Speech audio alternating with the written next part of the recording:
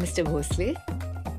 So finally मेरी मेहंदी का रंग आपको चढ़ ही गया। मैं तो बस पापा से प्रार्थना करता हूँ कि मेरे दिल पर मुझ पर तुम्हारा रंग हमेशा चढ़ा रहे। वही नहीं दादा के साथ बात करने के लिए पूरी ज़िंदगी है। अभी हमारे साथ डांस करो। चलो।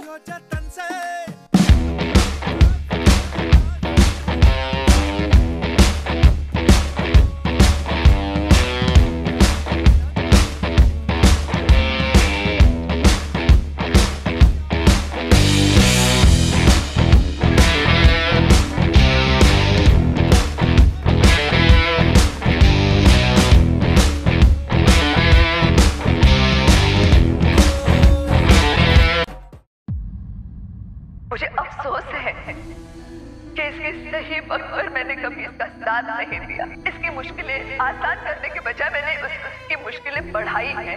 उस समृद्ध जैसा एक गुंडा मवाली, उसके साथ मैंने इसकी शादी तय कर दी। क्यों चले गए आप सब हमें छोड़ के? ताही को जब होश आएगा तो क्या कहूँगी मैं उन्हें? जब आप लोगों के बारे में पूछेंगी तो क्या जवाब दूँगी मैं?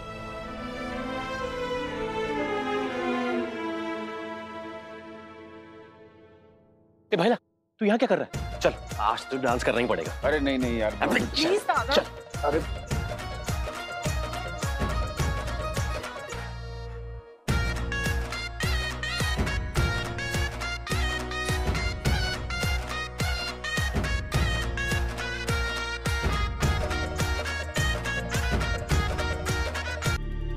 मिस सावंत डॉक्टर एक बुरी खबर है। क्या हुआ? ताई को ताई ठीक है ना?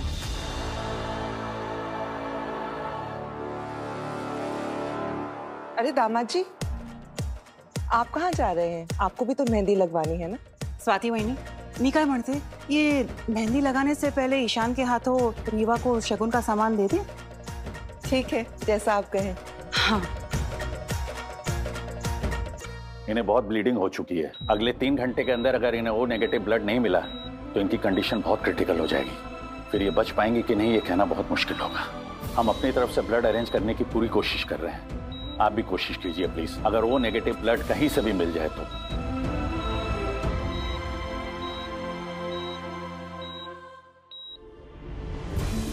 ईशा ले रीवा को शादी का जोड़ा दे। शादी का जोड़ा? शादी का जोड़ा हिस्से हिस्से में भेज रहा है। कभी साड़ी, कभी महँगे गहने। बहुत परेशान कर रहा है सभी को। जब तक मेरी सभी पुणे में है, क्या आप उसका ध्यान रखेंगे? उसका उसका ख्याल रखेंगे? बिन माँ बाप की बच्ची है, सर। अगर आप सभी की सुरक्षा का आश्वासन दे देंगे मुझे तो। तसल्ली हो जाएगी।